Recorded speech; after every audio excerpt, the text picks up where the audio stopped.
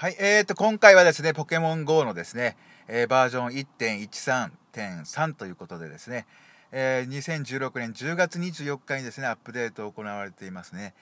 えー、自宅にですね、Wi-Fi とか、えー、ある方はですね、勝手に、まあ、知らないうちにね、アップデートされたりする方も思うんですけどもね、まあ、気が付いたらなんか変わってるなーって思う方も多いのではないでしょうかね。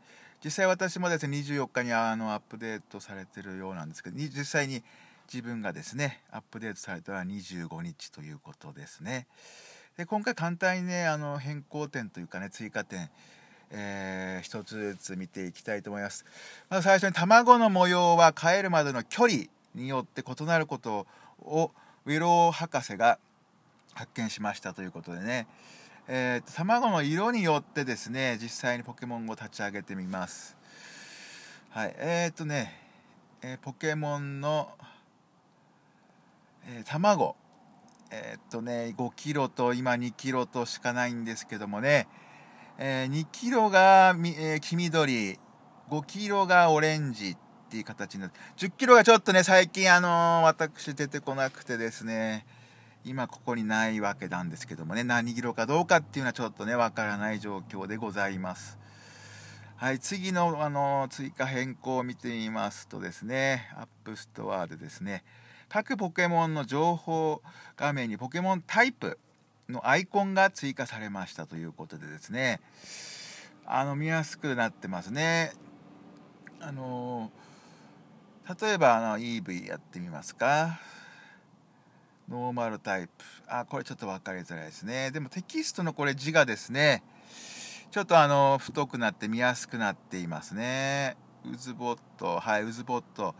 草と毒ということでねあのアイコンがですね見やすく追加されてます。あと技ですね。葉っぱカッターソーラービーム。ということでね、え、ちょっと字も太くなってアイコン、えー、追加されてますね。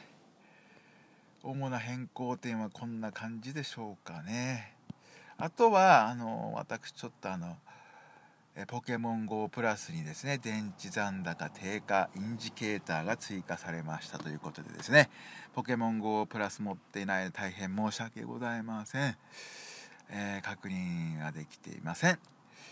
あとマイナーテキスト修正ということで先ほどもねお伝えしたあのこちらの方でねポケモンのね、えー、図鑑音というか、えー、捕まえたポケモンをタッチしていただくとこちらね、えー、字が見やすくなってるのではないかと思われます。ということで、あのー、簡単にですね、ポケモン GO のですね、アップデート、10月24日に行われました。